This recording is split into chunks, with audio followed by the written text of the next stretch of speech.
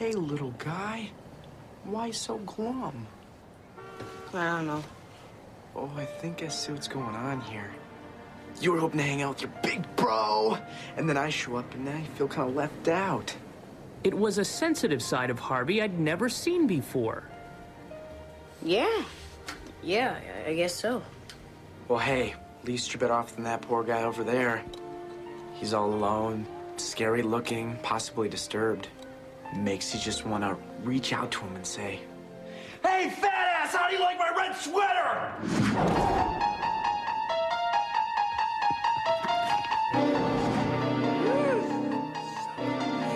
Uh-oh. What's he doing there? 10M!